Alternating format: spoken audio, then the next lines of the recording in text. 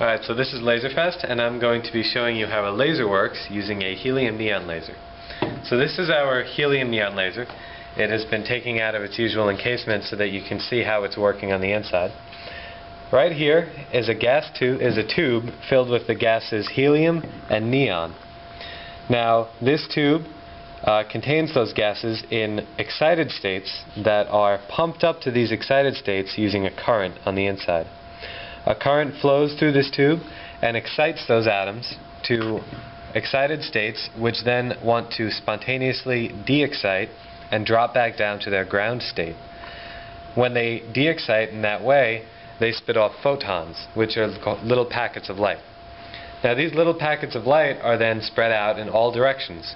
What we want is a single direction. So we put two mirrors at either end of the gas tube and the photons that just happen to be going in the perfect horizontal direction are going to be reflected many times within that ca cavity and as they go are going to continue to excite more atoms within the gas. Now as they excite more atoms, those atoms spit off yet more photons and we gain an amplification effect. Now this amplification effect is then um, utilized because we make one of the mirrors at the end just slightly less than perfectly reflective. This slightly less than perfectly reflective allows a little bit of the light that's constantly bouncing off of it to be transmitted and we get our laser beam that goes out to the side. So one interesting part of lasers is that the decays from an excited state to a ground state can actually happen between several excited states and the ground state so that we get a few different colors within the laser tube.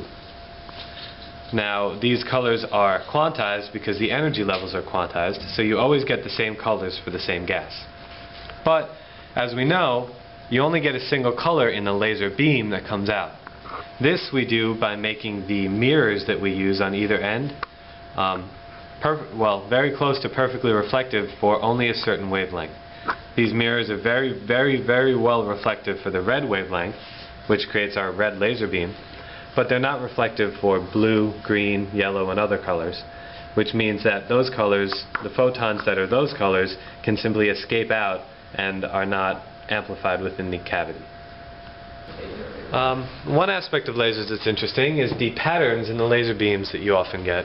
Uh, now we have put a lens on top of our on our laser beam so that we spread out the light and you can see in there that there's some internal structure in the laser beam.